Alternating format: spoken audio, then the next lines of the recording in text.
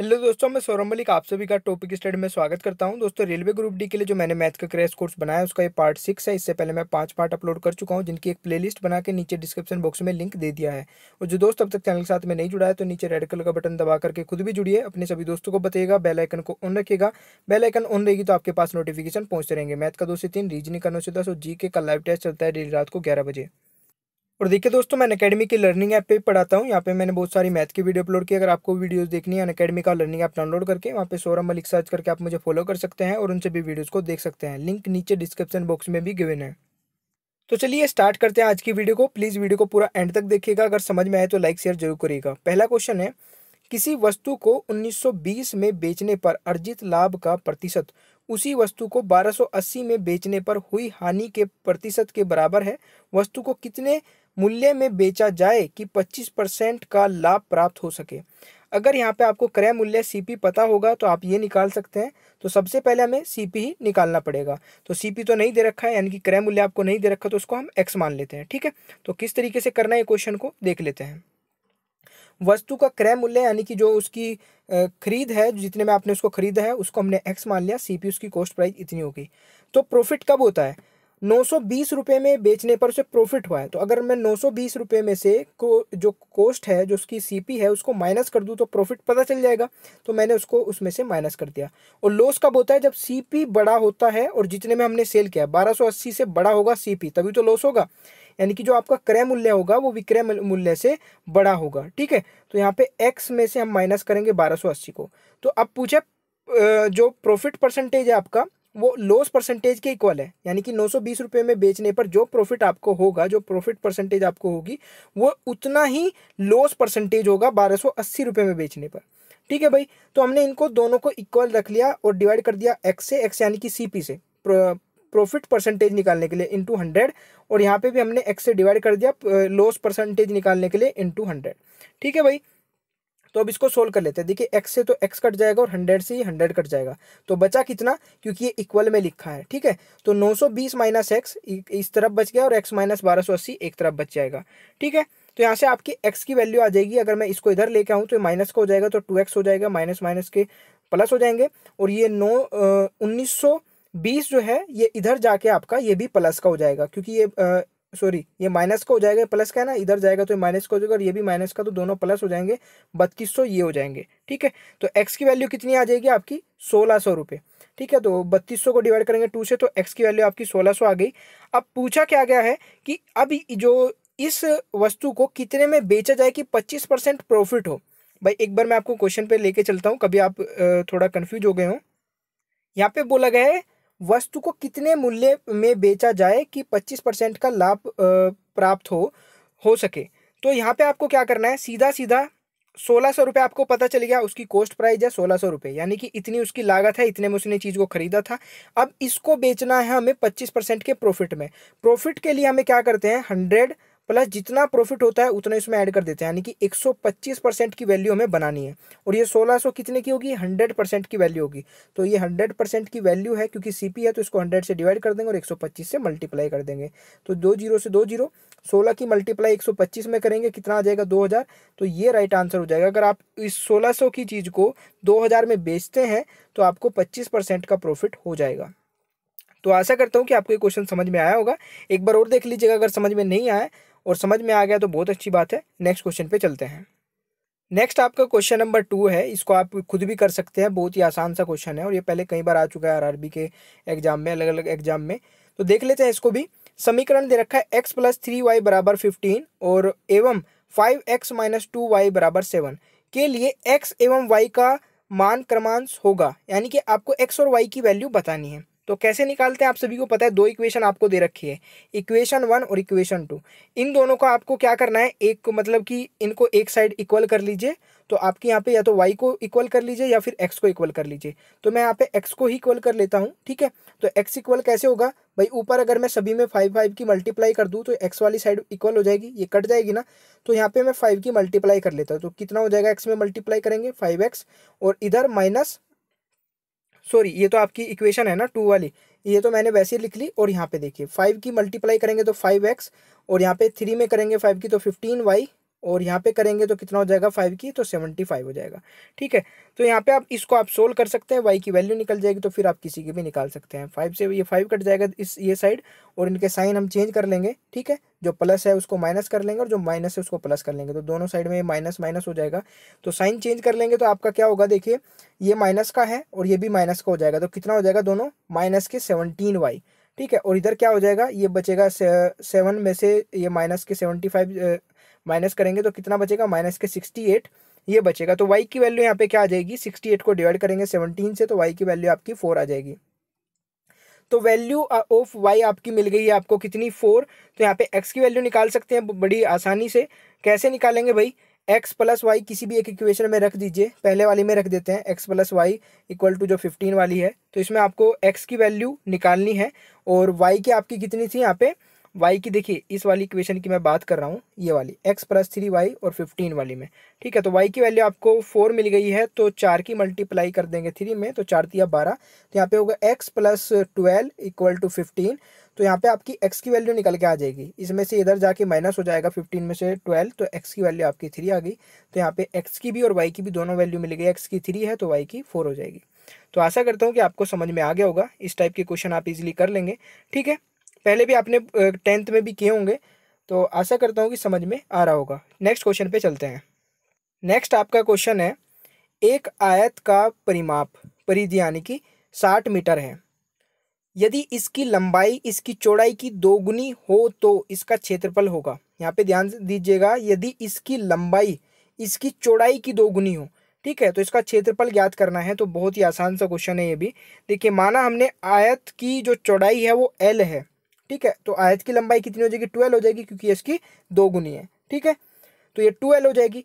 और यहाँ पे क्या दे रखा है? परिमाप आपका कितना दे रखा है? परिधि आपकी साठ दे रखी है तो ये कैसे हो जाएगा? Two L plus two L आपका बराबर किसके हो जाएगा? सिक्सटी के। तो यहाँ से आपका क्या हो जाएगा? ये सिक्स एल बराबर सिक्सटी हो जाएगा। टू की एल में करेंगे तो टू एल और इसमें करेंगे तो फोर एल तो दोनों को प्लस करेंगे तो सिक्स एल बराबर सिक्सटी तो एल की वैल्यू आपको यहाँ पे मिल जाएगी टेन ठीक है भाई, इतना तो आपकी समझ में आ ही गया होगा। अब क्या निकालना है आपको? आयत का क्षेत्रफल निकालना है तो चौड़ाई आपको पता चल गई। कितनी है? एल का मतलब है कि चौड़ाई आपकी दस है और लंबाई कितनी हो जाएगी? ये टू एल थी तो ये आपकी ट्वेंटी हो जाएगी, ठीक है? टेन की टू में कर लेंगे मल्टीप्लाई तो चौड़ाई और लंबाई आपको मिल गई तो आयत का क्षेत्रफल आप निकाल ही सकते हैं। टेन की मल्टीप्लाई ट्वेंटी में कर देंगे, लंबाई इंटू चौड़ाई। तो कितना हो जाएगा? दो सौ metre is the right answer ठीक है भाई, आशा करता हूँ कि आपको समझ में आ रहे होंगे सारे क्वेश्चन तो चलिए नेक्स्ट क्वेश्चन पे चलते हैं। नेक्स्ट आपका क्वेश्चन है और इस क्वेश्चन को मैं बहुत ही आसान तरीके से कराने वाला हूँ। एक आयत की लंबाई में दस परसेंट वृद्धि तथा चौड़ाई में दस परसेंट की कमी कर देने से आयत के क्षेत्रफल में कितनी वृद्धि अथवा कमी होगी? ये आपको बताना है कि वृद्धि होगी, कमी होगी। ये ग्रुप डी में भी दो बार क्वेश्चन आ चुका है और इस तरीके के क्वेश्चन आते रहते हैं रेलवे के एग्ज़ाम में। तो कैसे करना है, एक बार आप खुद भी ट्राई कर सकते हैं। एक आयत की लंबाई दस परसेंट से वृद्धि हुई है, ठीक है? और चौड़ाई में दस परसेंट की कमी हुई है। तो कमी कर देने से आयत के क्षेत्रफल में कमी होगी या वृद्धि होगी यह आपको बताना है। तो यहाँ पे हमें एक ही फॉर्मूला याद रहना चाहिए, जिससे हम करते हैं कि दो परसेंटेज को एक परसेंटेज बनाते हैं इफ़ेक्टिव परसेंटेज वाला फॉर्मूला समझ गए ना आप कौन सा? X plus Y X into Y upon में हंड्रेड ये सभी को याद हो चुका होगा, क्योंकि इसका बहुत यूज़ होता है कई क्वेश्चनों में। यहाँ पे एक चीज़ का ध्यान रखिएगा, अगर वृद्धि हुई है तो प्लस लीजिएगा और डिक्रीज हुआ है, कमी हुई है तो उसको माइनस कर दीजिएगा, ठीक है? देखिए मैं आपको दोबारा से दिखा देता हूँ। एक बार बताया कि दस परसेंट की वृद्धि हुई है, ठीक है? आयत की लंबाई में दस परसेंट की वृद्धि हुई है और एक बार बताया चौड़ाई में दस परसेंट की कमी हुई है। तो यहाँ पे जो, जब वृद्धि हुई है तो उसको प्लस लेना है और जो कमी हुई है उसको माइनस करना है। तो एक्स प्लस वाई जो है, यहाँ पे लिखेंगे भाई, वृद्धि हुई है तो प्लस का दस हो जाएगा, ठीक है? और माइनस कर देंगे हम क्योंकि कमी हुई है तो वाई को हम लिख देंगे माइनस टेन फिर यहाँ पे प्लस टेन वृद्धि हुई है और माइनस टेन आपका हो जाएगा, ये कमी हुई है। अपोन में हंड्रेड तो दस में से दस जाके तो ये इधर तो कुछ नहीं बचेगा। यहाँ पे क्या बचेगा आपका? ज़ीरो से ज़ीरो कट कर दीजिए तो ऊपर बचेगा माइनस का वन, और ये आपका इस तरीके से भी कर सकते हैं, हंड्रेड अपोन में हंड्रेड तो माइनस का वन बचेगा और यही आपका हो जाएगा। राइट आंसर इसका मतलब है कमी हुई है। माइनस का आएगी वैल्यू तो कमी हुई है, अगर प्लस की आती तो आपकी वृद्धि होती, ठीक है? तो कितना हो जाएगा? B is the right answer, यानी कि वन परसेंट की कमी हुई है। क्षेत्रफल में। आशा करता हूँ कि आपको समझ में आ गया होगा। अगर इस तरीके का क्वेश्चन आता है तो आप इजीली कर लेंगे। नेक्स्ट क्वेश्चन पे चलते हैं। देखिए, अब एक क्वेश्चन है ये चक्रवर्ती ब्याज का। इसकी बहुत ही अच्छी ट्रिक मैं आपको बताने वाला हूँ। चक्रवर्ती ब्याज की दर से कोई धनराशि पाँच वर्षों में दोगुनी हो जाती है। यही धनराशि कितने वर्ष में आठ गुनी हो जाएगी? ये आपको बताना है। रेलवे ग्रुप डी में दो बार ये क्वेश्चन पूछा जा चुका है। तो कैसे करना है? अब इसको देख लेते हैं। एक बार और पढ़ लेते हैं क्वेश्चन को। यहाँ पे बोला गया चक्रवर्ती ब्याज। इस चीज़ का ध्यान रखिएगा। सीआई वाला चैप्टर है ये। ठीक है? कंपाउंड इंटरेस्ट चक्रवर्ती ब्याज की दर से कोई धनराशि पाँच वर्षों में दोगुनी हो जाती है। यही धनराशि कितने वर्षों में आठ गुनी हो जाएगी? तो भैया, पाँच वर्षों में दोगुनी हो रही है। ठीक है? पाँच वर्षों में दोगुनी हो रही है। तो नेक्स्ट पाँच वर्षों में फिर गुनी, दो गुनी हो जाएगी तो दो का, दो गुना कितना होगा? चार हो जाएगा, ठीक है। फिर नेक्स्ट पाँच वर्षों में आपका फिर दो गुनी हो जाएगी तो आठ हो जाएगा। तो आप अब समझ गए होंगे कि ये दो गुनी दो गुनी होते होते दो की हो जाएगी चार और चार की हो जाएगी आठ। तो आपका ये कितना हो जाएगा? आठ गुनी कितने वर्ष में हो जाएगी भाई? पाँच दूनी दस और पाँच या पंद्रह, यानी कि पंद्रह वर्षों में ये आपकी हो जाएगी आठ गुनी। तो आप समझ गए इस चीज़ को। देखिए जितना बोला जाए अगर यहाँ पे बोला जाता है कि पाँच वर्षों में ती, तीन गुनी हो गई है तो आपको यहाँ पे थ्री रखना था और हर एक स्टेप पे फाइव बढ़ाते जाना था और यहाँ पे आप कर देते सिक्स फिर नेक्स्ट स्टेप में बढ़ाना था फाइव और यहाँ पे कर देते ट्वेल्व ठीक है? यानी कि इसका दुगुना करते जाना था। तो पूछा जाता कि बारह गुना कितने वर्षों में होगी तो ये भी आपका हो जाता इतने वर्षों में यानी कि ठीक है? पंद्रह वर्षों में। अगर यहाँ पे ये पाँच वर्षों में तीन गुना होती ठीक है ना? तो आशा करता हूँ कि आपको ये ट्रिक अच्छी लगी होगी। तो अच्छी लगी तो प्लीज़ लाइक करिएगा और बताइएगा मुझे कमेंट बॉक्स में। नेक्स्ट क्वेश्चन पे चलते हैं। यहाँ पे आपका एक क्वेश्चन है कि यदि x के 16 परसेंट का मान 48 परसेंट सॉरी 48 के 12 परसेंट के बराबर है तो x का मान है। यानी कि x का मान आपको बताना है। देखिए, इस तरीके कई क्वेश्चन आपके एग्ज़ाम में आते हैं। यहाँ पे सीधा सीधा सा कॉन्सेप्ट है कि यहाँ पे बोला गया अगर x का 16 परसेंट निकाला जाए ठीक है, जो भी होगा एक्स का सोलह परसेंट, वो किसके बराबर होगा? अड़तालीस परसेंट अड़तालीस का बारह परसेंट के।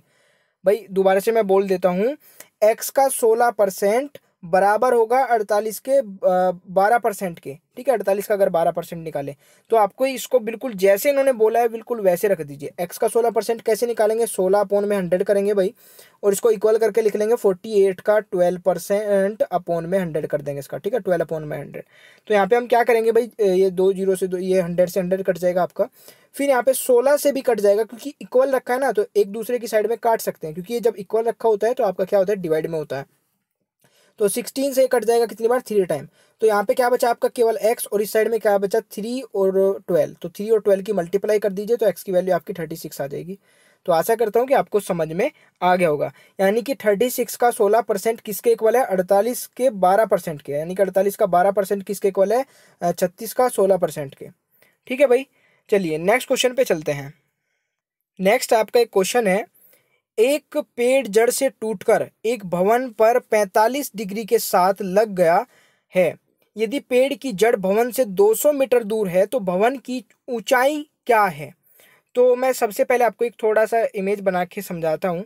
एक पेड़ गिर के, टूट के गिर गया और ये भवन है, मान लीजिए, ठीक है? ये जो है, ये भवन है, ये घर है एक, और इस पर एक पेड़ टूट के गिर गया और वो पैंतालीस डिग्री का कोण बना रहा है। और जो इसकी जड़ है, ये पेड़ ऐसे खड़ा था और ऐसे गिर जाएगा तो इसकी जो जड़ होगी ये ये जड़ और इसके घर से कितनी दूरी पर है? ये 200 मीटर की दूरी पर है। ठीक है, इतनी चीज़ें आपको क्लियर हो गई। बोला क्या है? यहाँ पे आपको क्या मिल गया? ये बेस मिल गया है, ठीक है? ये आपको निकालना है। यानी कि पूछा क्या गया है? हाइट पूछी गई सॉरी ये आपको निकालना है। हाइट पूछी है ठीक है? तो यहाँ पे हम निकाल लगा सकते हैं टेन थीटा क्योंकि परपेंडिकुलर अपॉन बेस ये बेस आपको पता है, ये आपको निकालना है। तो टेन थीटा आप यहाँ पे पी अपॉन बी कर सकते हैं। तो टेन थीटा यहाँ पे फोर्टी फाइव डिग्री हो जाएगा थीटा की वैल्यू और एच अपॉन टू हंड्रेड आपको ये दे रखा है। तो टेन फोर्टी फाइव डिग्री की वैल्यू क्या होती है? वन होती है। सभी को पता होगा, अगर देखिए आपको ये वैल्यूज़ नहीं पता है तो इन वैल्यूज़ को तो ज़रूर याद कर लीजिए। कई क्वेश्चन होते हैं कि ऐसे ही डायरेक्ट पूछ ले जाते हैं, इनकी वैल्यू से रिलेटेड ही। ठीक है? तो यहाँ पे क्या आ जाएगी? वैल्यू वन आ जाएगी, और ये किसके इक्वल हो जाएगा? एच अपॉन में टू हंड्रेड ठीक है तो यहाँ पे क्रॉस मल्टीप्लाई कर लीजिए सीधा सीधा सा, बस आप इस तरीके से तो कितना हो जाएगा? एच बराबर टू हंड्रेड मीटर, यानी कि जो ये ऊंचाई हो जाएगी, ये वाली, ये हाइट जो हो जाएगी, ये कितनी हो जाएगी हाउस की? ये आपकी टू हंड्रेड मीटर हो जाएगी। तो आशा करता हूँ कि आपको समझ में आ गया होगा क्वेश्चन इस तरीके का क्वेश्चन कई बार आपके एग्ज़ाम में पूछा जाता है। ठीक है भाई, चलिए फिर नेक्स्ट क्वेश्चन पे चलते हैं। देखिए, एक ये क्वेश्चन है, बहुत ही अच्छा है, और ये ग्रुप डी में पहले भी आया है। एक ट्रेन सात सेकंड में एक पोल को पार कर करती है और यह थ्री सेवेंटी एट मीटर लंबी एक स्थिर ट्रेन को ट्वेंटी फाइव सेकेंड में पार करती है। ट्रेन की गति क्या है? ट्रेन की गति बतानी है। तो सबसे पहले तो हमें ट्रेन की लंबाई निकालनी पड़ेगी, ठीक है? क्योंकि ट्रेन सात सेकंड में तो एक पोल को पार कर रही है और एक स्थिर ट्रेन को, यानी कि एक खड़ी हुई ट्रेन को आपको, जो जिसकी लंबाई है थ्री सेवेंटी एट मीटर, उसको पार कर रही है पच्चीस सेकंड में। तो यहाँ पर ट्रेन की गति पूछी है। तो सबसे पहले हम निकाल लेंगे ट्रेन की लेंथ। ट्रेन की लेंथ क्या है? उसको निकालने के लिए क्या करेंगे? एक्स मान लेते हैं हम लेंथ एक्स है, ठीक है? अब यहाँ पे हम क्या करेंगे? भाई, जो ट्रेन की लेंथ रही होगी वो तो सेम ही रहेंगी ना दोनों साइड में। तो हम क्या करेंगे? एक्स को अगर मैं सेवन से डिवाइड कर दूँ तो स्पीड आ जाएगी हमारी निकल के। ठीक है? क्योंकि ये एक्स जो है, ये तो लेंथ है ट्रेन की और जो ये है इसका ये टाइम है एक पोल को पार करने का। जब एक ट्रेन पोल को पार करती है, खड़े हुए खंबे को पार करती है तो वो सात सेकंड लेती है। तो यहाँ पे एक्स जो ट्रेन है, जिसकी लंबाई एक्स है, उसको अगर मैं सात से डिवाइड कर दूँ तो इसकी स्पीड निकल के आ जाएगी। तो स्पीड तो उसकी, चाहे वो किसी खड़ी हुई ट्रेन को पार करके जाए या किसी एक पोल को पार करके जाए स्पीड तो सेम रहेगी ना? तो यहाँ पे हम इन दोनों को इक्वल करके लिख सकते हैं, ठीक है? यहाँ पे जब एक खड़ी हुई ट्रेन को पार करके जाएगी मान लीजिए इस तरीके से ट्रेन खड़ी है और उसको पार करके जा रही है दूसरी ट्रेन और जो खड़ी हुई ट्रेन है उसकी लंबाई कितनी है? थ्री सेवेंटी एट मीटर तो आपको क्या करना है? जब इस ट्रेन को पार करके जाएगी तो दोनों की लंबाई लेते हैं। इस चीज़ का भी आपको पता होगा। तो x plus three seventy eight upon में ट्वेंटी फाइव अगर मैं इसे ट्वेंटी फाइव से डिवाइड कर दूँ तो यहाँ पे स्पीड आ जाएगी निकल के ट्रेन की। तो हम क्या करेंगे? इस तरीके से इसकी सबसे पहले आ, लंबाई निकाल लेंगे। ठीक है? अब यहाँ पे कर लीजिए इनकी क्रॉस मल्टीप्लाई बस आपका आंसर आ जाएगा ट्वेंटी फाइव की एक्स में करेंगे तो ट्वेंटी फाइव एक्स और इधर करेंगे तो सेवन एक्स और three seventy eight into seven ठीक है?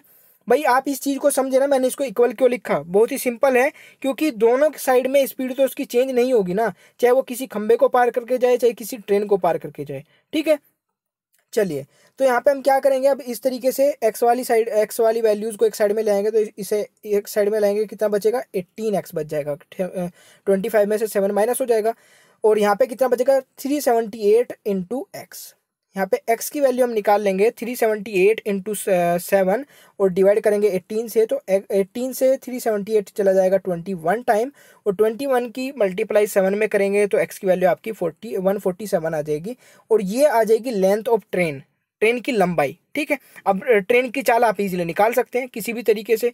तो ट्रेन की चाल क्या दे रखी है भाई? वो सॉरी टाइम क्या दे रखा था? सात सेकंड में एक खंबे को पार कर रही थी। तो ट्रेन कितनी लंबी है? जब एक खंबे को ट्रेन पार करती है तो हम कैसे निकालते हैं? समय समय कैसे निकालते हैं? आप देखिए, जब भी हम किसी एक ट्रेन किसी खंबे को पार करके जाती है तो हम समय निकालते हैं कि कितने समय में पार करेगी।